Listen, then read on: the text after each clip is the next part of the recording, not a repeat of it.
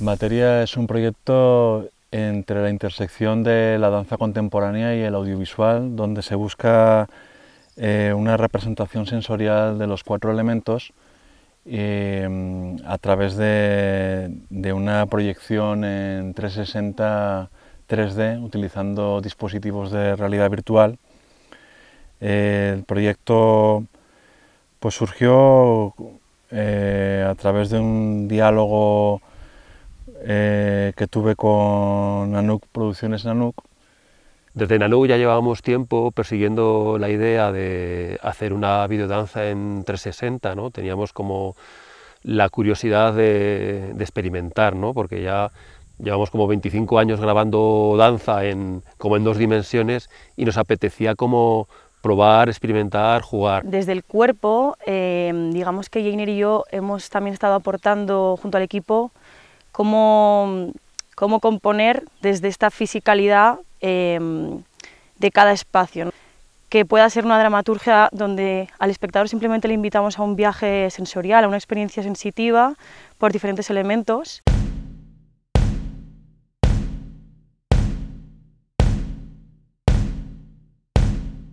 Nos invitaron a este hermoso viaje a querer investigar un poco sobre lo que son las materias, tierra, agua, aire y fuego, los cuales nos mandó a un proceso de investigación.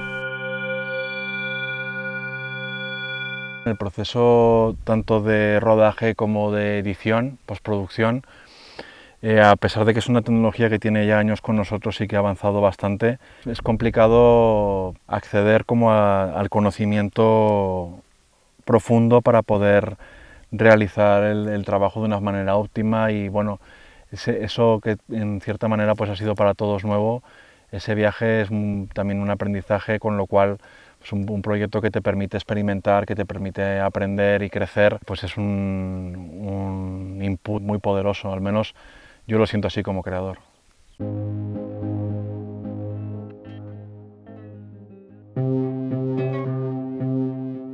Nosotros desde el cuerpo, digamos que hemos tratado de componer desde un imaginario y sensaciones al que cada uno de esos espacios o elementos nos iba llevando.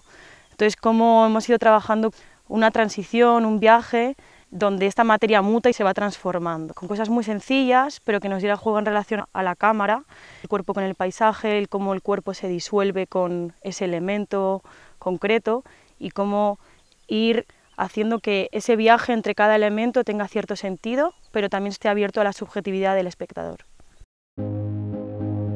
El enfoque sonoro de materia lo planteamos a partir de vincular instrumentos y sonidos a los elementos.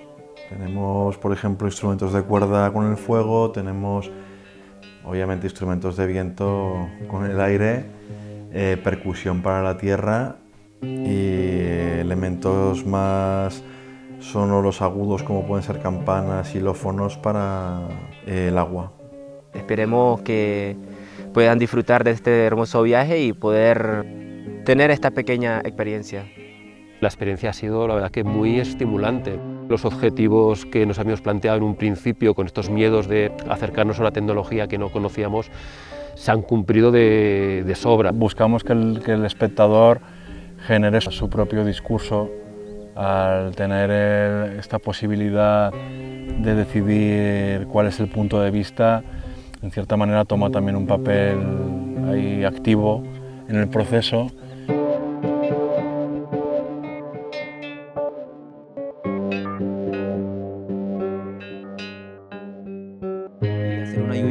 Donde pudimos llegar al concepto de materia y desde ahí comenzamos a investigar, María y yo, para crear un poco la dramaturgia a nivel de diseño coreográfico y también en complemento con la cámara, tomando en cuenta todo el ambiente.